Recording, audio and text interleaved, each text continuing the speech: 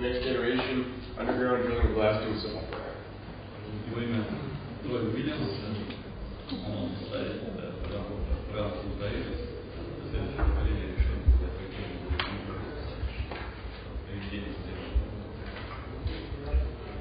So I'm just going to uh, do a little bit about myself and the company I work for. I work for a company called iRing, and we're in the uh, city of North Bay in the province of Ontario in Canada. So we're located right about here. So we're about uh, four hours north of Toronto. We're very close to the Sudbury uh, Basin. We're very close to Kirk and Lakenton. We're in a, we're in a, a, a good mining region within Ontario. Um, our company started in about 2003. We've been developing underground drilling and blasting software since that time. And uh, we started Aegis in uh, 2010. Наша компания расположена в городе Норт-Бэй. Это в четырех часах севернее города Торонто. Программный продукт Айрин был выпущен в 2003 году, а в 2014 был первый выпуск Aegis, следующее поколение. Далее был выпуск э, программы Aegis Designer и Aegis Analyzer. In, uh, in 2015, we were nominated for a Manning Innovation Award. It's a very prestigious innovation award in Canada, and it's uh, an honor to be nominated. And we've also won the, the Ontario Business Award uh, a few times.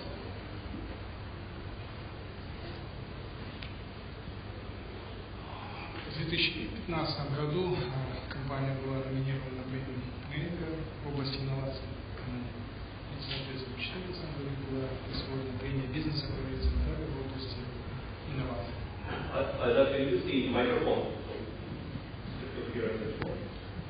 Thank you. Okay. Um, Aegis is a tool to help you design underground drilling and blasting rings. It's a standalone package and it uses real data, the wireframes, drills, rock properties, explosives, and, and it really helps you do rapid ring designs. Программа предназначена для проектирования буровозрывных работ, используется в качестве э, исходных данных для каркасной модели. Кроме этого используются свойства пород и э, взрывчатых веществ. Um, so we have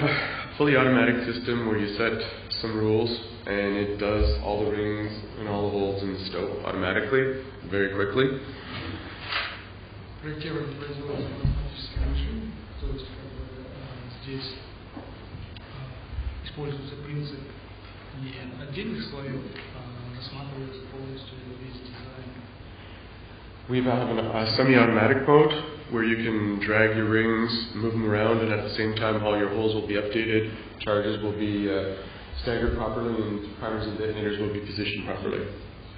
Кроме этого, используется полуавтоматический метод, то есть э, в тех случаях, когда нам необходимо изменить азимут э, слоев, мы можем простым, так, э, редактированием изменить и азимут, и, соответственно, угол наклона. It's even a full manual mode where you can drag and move everything by hand and change it around. То есть э, многие элементы дизайна можно будет э, корректировать простым, э, да, ручным способом. We have a template-based raise design tool. It's a, it's a 2D designer to design a 3D product. It's template-based, so they can be shared amongst the users once created. Мгм. Можно будет использовать шаблоны для того, чтобы э, выполнить разбуривание отрезных щелей восстающих.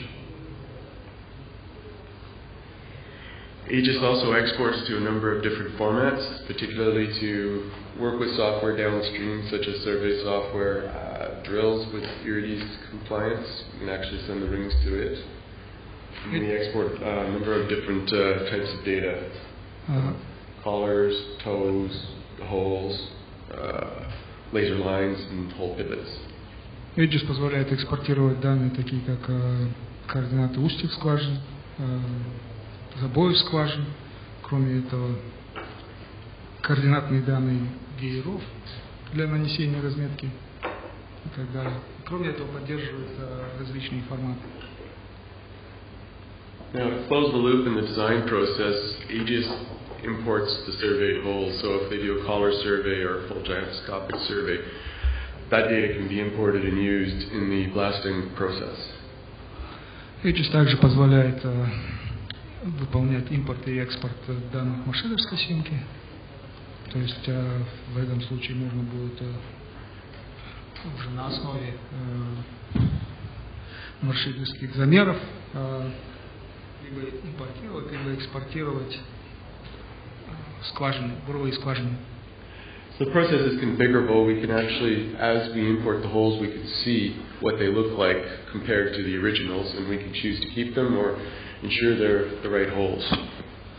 Весь процесс кон- э, конфигурируем, то есть, э, в принципе, можно будет все эти э, скважины загрузить, подгрузить, ну и, соответственно, если нам необходимо оставить их, можно их оставить, либо выгрузить. We have a full reporting system we modeled after PowerPoint. You drag and drop the items on, you configure it, and it's template based so it can be shared. Once it's created, all the information that you need to send to production is, uh, is available. It's fully compatible with Microsoft Office. You can copy and paste items and tables into, uh, into Excel or Word, and then copy and paste graphs back into uh, the reports. Создание отчетов э, можно будет выполнить и э, вставкой. А, Отчетность э, выполняется по образцу PowerPoint и, соответственно, совместим с э, продуктами MS Office. Tables containing uh, the information about the holes are completely flexible. There's a lot of pre-built columns into it. It also supports Excel-like formulas, so you can create your own custom columns with the custom data that you need. Данные по э, включают э, э, большое количество параметров, то есть опять-таки можно будет добавлять э, Excel и, соответственно, табличные данные. Blasting. Uh, Aegis has a blasting mechanism that's charge-based, so you can select charge charges from rings within the same stope or charges from rings in uh, adjacent stopes. You can time them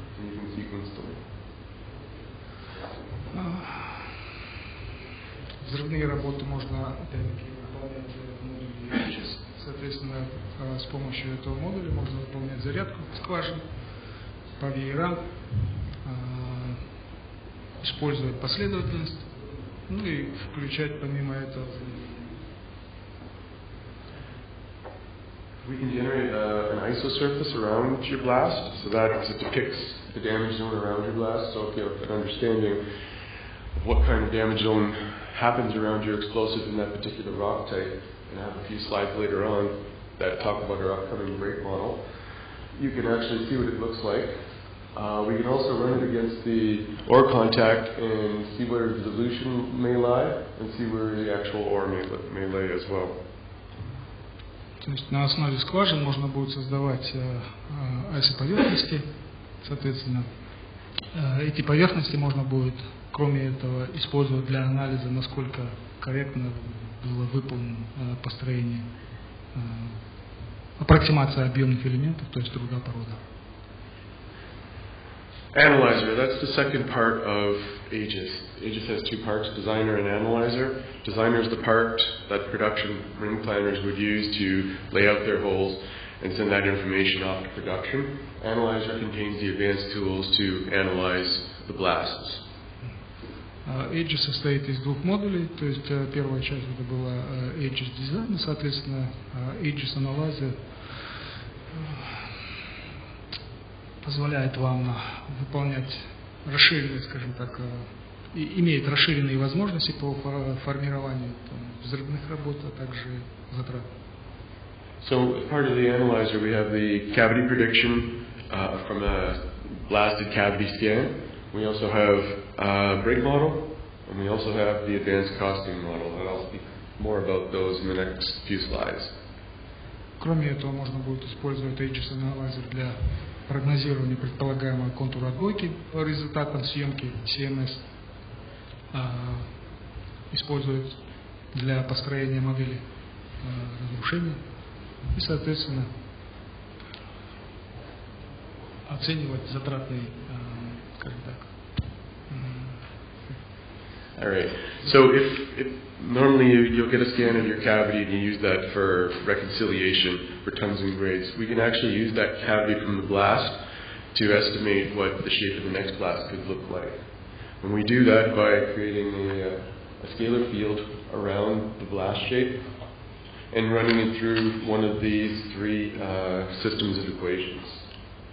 Э, прогноз предполага- предполагаемого взрыва э, можно выполнить по результатам э, съемки CMS. Соответственно, используются скалерные величины. Ну и один из трех перечисленных методов оптимизации, то есть метод Klein, Holmberg Person, либо же Wilcox Analysis. So the scalar field is just a, a mathematical engine to calculate points in space. So we have three, three equations. The first one we call it the Klein field, and that's essentially a three-dimensional powder factor that we can use to, to fit the shape. The second one is a Holmberg-Persson, that's peak particle velocity, and the last one is a Lucas-Aganis field, which is a modified distance approach. So there's three ways to, to, to, um, to calculate our shape based on the previous blast. То есть на основе предыдущих э, взрывов или выполненных взрывов можно будет э, выполнять корректировку, то есть используется, э, как я уже говорил, метод Клейна по удельному расходу либо по пиковой скорости колебаний. Ну и третий вариант это на основе расстояний. So the brake model. Um, this is brand new. A lot of work and research went into this model. I'm going to start by describing the inputs to it that we need in order for it to operate. То есть, э, создание модели разрушения она основывается на м, математических исследованиях. То есть, э, в данном случае мы расскажем более подробно о них. Now, in order for any model to be successful, we require good inputs. We, we require a good knowledge of the rock properties, particularly the P-wave velocities and the S-wave velocities that are in that, that are in that rock type. We use those velocities to calculate the dynamic properties of the rock, such as the dynamic tensile strength and the dynamic compressive strength, as well as dynamic Young's modulus and Poisson's ratio. Для того, чтобы выполнить оценку, нам необходимы следующие э, свойства повод. Это скорость распределения волн, скорость э, поперечных волн, ну и, соответственно, динамическая прочность нажатия и растяжения. Typically, you can you can obtain your uh, S and P wave velocity from your seismic systems. So here's an example trace where the P wave is the first arrival wave, and the S wave is comes in a little bit later than the P wave. With that and knowing the location of your seismic equipment, you can calculate the velocity of the waves quite quite easily. То есть оценку производим по показателям P-wave и S-wave, то есть э, по продольным, э, по скорости распространения поперечных волн и продольных волн. The next bit of information we need to we need to have a good handle on is the explosive properties, particularly its detonation velocity, uh, its ideal detonation velocity, as well as the critical velocity. Далее оцениваются э, взрывные свойства, то есть это плотность, скорость детонации. We use those parameters in the explosive to, uh, to model the velocity of detonation curve for any particular diameter between the critical and the ideal. Эти параметры э, используются для того, чтобы отстроить кривую э, скорости распространения волн на основе измененного диаметра. Okay. The next important thing is we need to understand how the seismic waves decay in the rock mass. So we collect this data through uh, peak particle velocity measurements. So peak particle velocity measurements conducted with the seismic systems. М, Далее используются э, такие параметры, как затухание детонации, то есть это либо пиковая скорость колебаний, либо масштабное расстояние. So we take the peak particle velocities and uh, we scale the distances that these readings were measured from, and we come up with our attenuation chart. So the slope of this curve describes how the waves degrade in that rock mass. That implicitly in- includes uh, jointing, uh, changes of structure, and whatnot.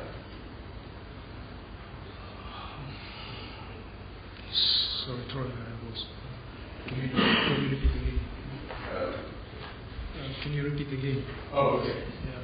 The peak particle velocity points are measured uh, are measured from the seismic systems, and then knowing how much uh, explosive weight was in the blast, we can calculate the scale distance and plot them in the chart. То есть на, на основе пиковой скорости колебания, э, используя м- масштабирование, можно будет определить расстояние. Then then you can use Excel to uh, to trace the linear fit to get the slope of the line. Далее, для того, чтобы определить э,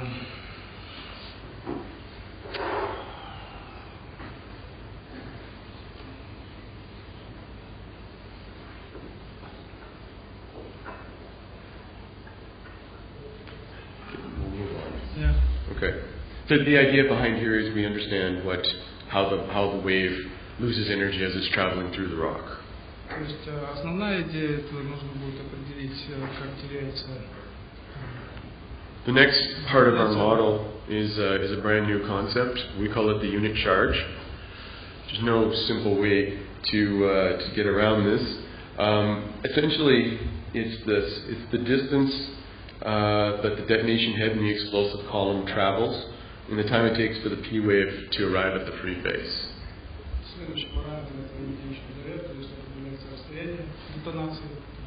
перемещается за определенное время.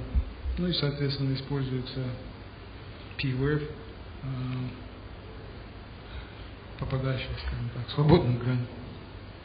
So what this allows us to do is it allows us to compare different explosives in the same rock type and same explosive in different rock types. It gives us, it gives us differences between the energy levels available.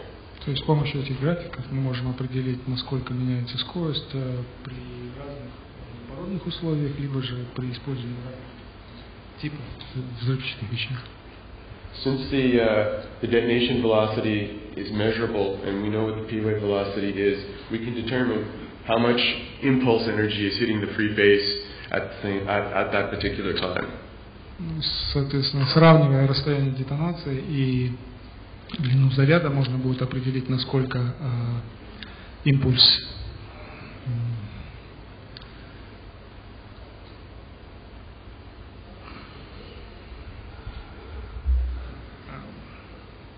насколько силен импульс заряда. Okay. What it uh, what it's showing is depending on the detonation velocity of the explosive and the p wave velocity, it's showing how much energy can possibly hit hit the free face at that particular time period.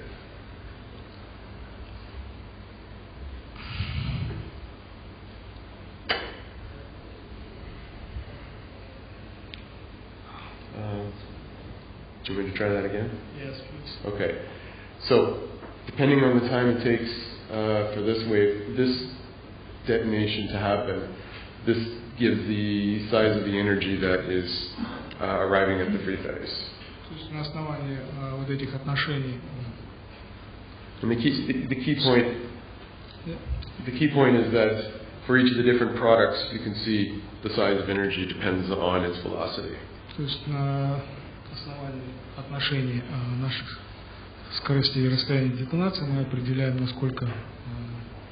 Энергия нашего взрыва влияет на сам э, So we can run, we have a proprietary system of equations that will calculate uh, damage radius, damage zones around the blast hole, given the rock properties, given the uh, explosive properties, and given the attenuation.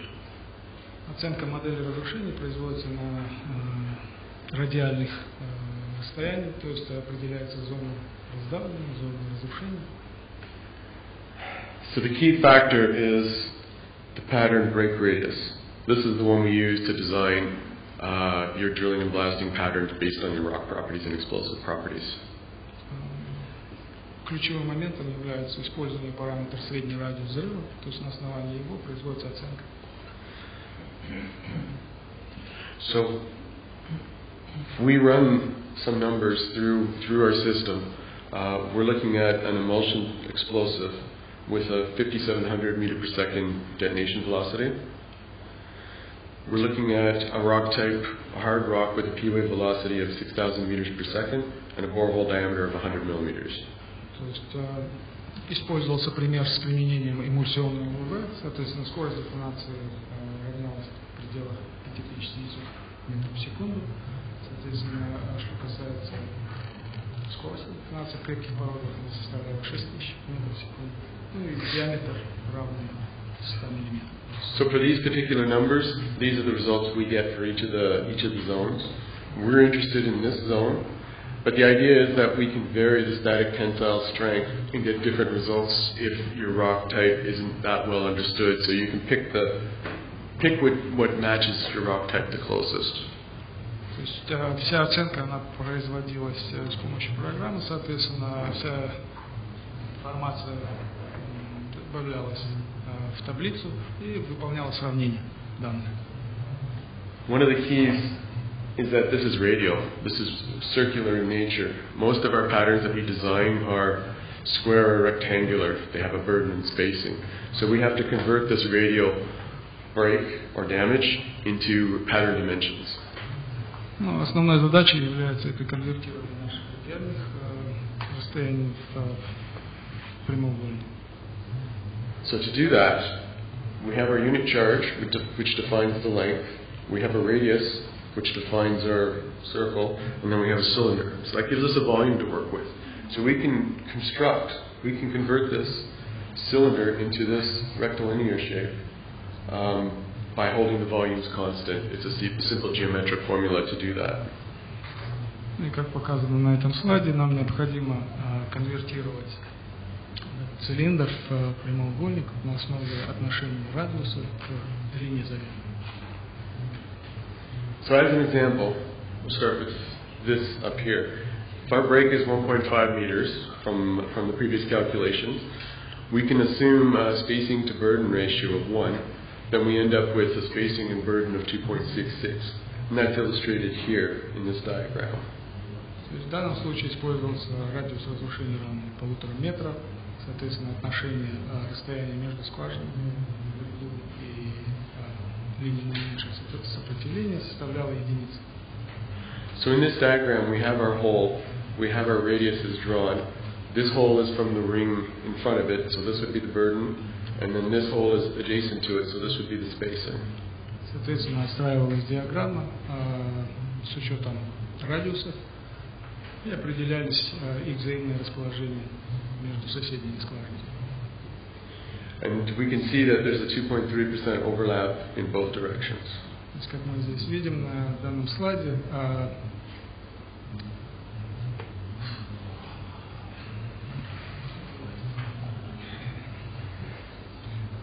да, наложение составляет порядка э, 2,3%. So as a second example, we set the spacing to burden to 1.12, and we calculate our burden and space, uh, spacing and burden to 2.8 by 2.8. And the accompanying diagram is, is over here. На следующем рисунке показано соотношение равное Э, Здесь использовалось эквивалентное расстояние между скважинами равное 2,8 метра. Ну и э, линия меньше сопротивления расстояния. An interesting thing is that you can convert peak particle velocity to stress. Uh, so you can actually determine rock strengths based on the peak particle velocities that you're measuring. This is the simple relationship to convert peak particle velocity to stress. Далее формула описывает соотношение пиковой скорости колебаний к напряжению, и все это вводится на график. What this gives us, this allows us to estimate how far the wave can travel from the borehole till it drop, till it, till the stress in that wave drops below the dynamic compressive strength, so we can start making uh, making better models with it. То есть с помощью этой диаграммы можно будет определить, на- насколько теряется э, мощность, э, м, сила, скажем так, распределения волн э, с, с прохождением определенных дистанций. So this is a diagram that you won't you will not have seen before. This is this is brand new. То есть данная диаграмма, она как бы довольно-таки новая, то есть ее невозможно увидеть до, до этого момента. So what, what we've done is taken that attenuation curve, converted it to stress, and then plot it, and actually reflect it in the free face. То есть э, здесь отстраивается график распределения волн с отражением их от свободной поверхности. From this this side of the chart, this represents the borehole wall. А левая сторона а, представляет собой саму скважину, This side of the chart represents the free face, a certain distance from the borehole wall. красная линия с правой стороны а, это контур а, So the bore, свободной посадки, поверхности. so the borehole starts out at uh, the borehole pressure is 10 gigapascals. That's that's what's calculated at the point where the wave starts. То есть здесь на стенке скважины оказывается давление равное 10 гигапаскалям. The wave is uh, emitted from the borehole in a compressive mode. It hits the free face and reflects and turns tensile. So it reflects and it does tensile damage on this part. То есть и исходящая волна сжатия, она достигает а, свободной поверхности, отражается и а, The interesting point is here. This represents the dynamic compressive strength of the material. So from here to here, the wave is doing compressive damage to the rock. From here to here, it's not doing any damage at all because it's below the dynamic compressive strength. То есть, Получается, первая точка, она как раз таки представляет интерес, а далее, как мы видим, а, ее положение находится ниже репюра напряжения системы. The interesting point is the, the stress uh, calculated at the free face. It's 240 megapas- megapascals. То есть, опять-таки, а, на свободной поверхности а, у нас определяется точка, которая как раз таки показывает напряжение данной системы. So once the wave is reflected, it does damage until it drops below the dynamic tensile strength. То есть э, как раз таки на этом м, графике показано, насколько теряется отраженная, э, сила отраженной волны. We call this uh, a stress profile of the system. So we have a 2.7 by 2.7 meter pattern, and we use the same explosive and the same rock type from the previous slides. То есть э, данная система называется эпюрное напряженное состояние, и, соответственно, используются здесь, э, определяются параметры, которые выражены э, So the question is, what can we do with this? 2,7 на 2,7. Sorry. Sorry, it's okay. So the question is, what can we do with this? Well, what we can do is we can substitute a different explosive and see what happens in the system, keep everything else the same, and we can uh, see what happens. То есть возникает вопрос, что мы можем сделать с этим, либо мы можем заменить э, тип взрывчатых веществ, соответственно, определить, насколько это будет влиять на, на наш взрыв. So I'm using an ANFO-based product with a 3,700 meters per second velocity of detonation. Everything else stays the same. Ну, в данном случае мы э, смоделируем использование гла- гранулированного э, взрывчатого вещества, соответственно, со скоростью детонации равной 3600 метров в секунду. This point here represents the point of the original system, and you can see where the new system is here. It's farther out, and it's less less energy. It's actually 80 megapascals versus 250. Синяя точка как раз таки представляет э, положение, э, исх- исходное, да, исходное положение с предыдущего графика.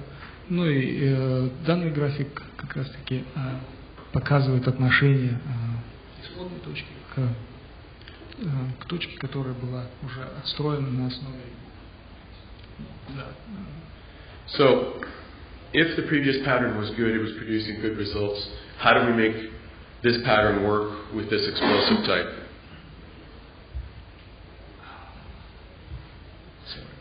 Um, okay, so if, if this explosive, if the previous pattern was generating good results, how do we adjust this pattern so that we get similar results? То есть э, задача стоит следующая. Нам нужно будет определить э, с, э, с заменой взрывчатого вещества, как мы можем добиться тех же результатов, которые мы э, получили при использовании эмульсионных ГВ. What we need to do is we need to set this pattern, move this pattern so that its stress at the free face matches what we had previously. And we can do that by changing the burden. То есть э, в данном случае можно будет, э, изменяя длину наименьшего сопротивления, вывести этот график соосно с предыдущей исходной точкой. So we adjust the burden And we find out that we end up with a pattern of 1.3 by 1.3 to give us the same results with the, with the other explosive. После того, как мы передвинули, а, как, после того, как мы изменили расстояние, соответственно, мы смоделировали, и система нам показала, что а, расстояние между скважинами можно использовать как э, по сетке 1,3 метра на 1,3 метра. So we have a case study. We've actually used our model on a mine in Canada this summer with, with good results. So this mine was using 100 millimeter holes. They were on a 2.3 by 2 meter pattern. They were using the emulsion. They, were, they had a very strong rock type. Данный пример показывает э, данные, полученные при проведении исследований. То есть использовались э, следующие параметры. Это диаметр 100 мм, сетка 2,3 метра на 2 метра. Это отношение э, расстояния между скважинами и линией наименьшего сопротивления. Отношение равное э, 1,15. Primary issues they were encountering, the main issue was hanging wall stability. After the blast, the hanging wall would collapse. Secondary issue they were experiencing, high dilution.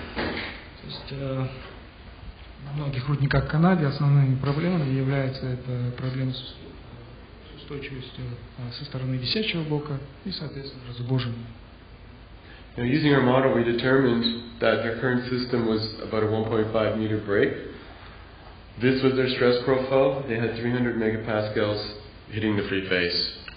Соответственно, моделируя это, мы определили, что радиус разрушения э, примерно равен полутора метра. э, и профиль сжатия. Да, наклад. So we knew this was, uh, the pattern was too small for this type of explosive, so we suggested to the consultant we were working with to increase the pattern.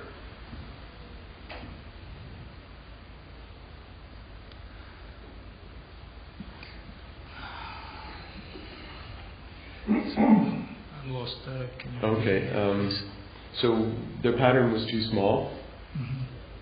То есть получается, что у нас сетка, она была довольно-таки маленькая. and we suggested to the consultant we were working with that we needed to increase the pattern. То есть э, мы посоветовали им э, увеличить расстояние по сетке. So we ran this pattern through the model, 2.8 by 2.5, and this is the stress profile. It's about 50 megapascals less than what their current system was using. То есть на основании этого определили, что сетка должна быть э, 2,8 на 2,5 метра. Ну и, соответственно, напряжение составляет 250 мегапаскаль на свободной поверхности. So they took the blast this uh, August. This is a result of the CMS. So this was their planned tonnage. They were looking for about 9% dilution. То есть получается, что запланированный был тоннаж э, равно 15 тысячам 99 тонн. Разубоженность составляла порядка 9%. This is what they en- ended up extracting, less than almost 0.2% difference. It was almost exactly what they what they planned for. Ну и после выполнения сравнения, а, запланированно к фактическому, определили, что э, расхождение составляет порядка 0,2%. So in the CMS you can see there's no issues with the hanging wall. It looks nice and well defined. And even in the footwall it looks really nice. То есть э, при анализе э, висячего бока или лежачего бока видно, что никаких нарушений э, не присутствует. The, C the CMS also agrees with our break isosurface of 1.5 meters. You can see the two the the the, the tubes follow follow the shape very nicely. Кроме этого, сгенерированные э, айсоповерхности сопоставимы с результатами э, выполненной съемки на, э, на основе э, CMS. The last little bit is our costing model. Um, it's designed as a model. You define you define the rules as activity or product based rules and associated costs. Кроме этого, Aegis позволяет выполнять э, анализ затрат, используется правильное наименование затрат по изделиям и э. Once that's done, the model can be applied to designs in Aegis to properly cost them out. После того, как эта э, модель э,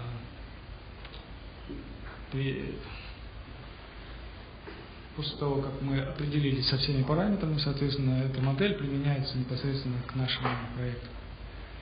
Uh, there's, there's extensive reports and uh, high-level overview of the costs. Можно будет включить э, э, детальные расширенные отчеты, соответственно, выполнить обобщенный обзор по затратам. Now, the, the, interesting part is the cost model can be used in conjunction with the break model. So, if you're investigating different explosive types, you can determine the patterns you need to use for that and accurately cost them out and do an accurate comparison. Ну, Самое интересное то, что можно будет использовать э, в сравнении стоимостные затраты и модель разрушения, соответственно. Um, that's it. Thank you very much. If you have any questions, I'd be more than happy to answer. Спасибо. Если есть какие-то вопросы, спрашивайте.